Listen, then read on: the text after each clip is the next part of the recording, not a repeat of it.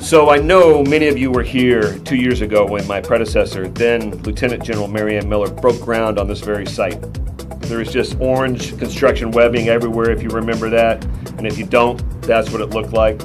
And then uh, everybody had to wear hard hats because uh, it was a construction site. Lieutenant General Stenner wanted to bring the Air Force Reserve Command staff to one location on this base. Bottom line is, in total, this facility will save the Air Force over $34 million. And, it, and as such, it will also save the American people that much uh, in tax that they don't have to pay.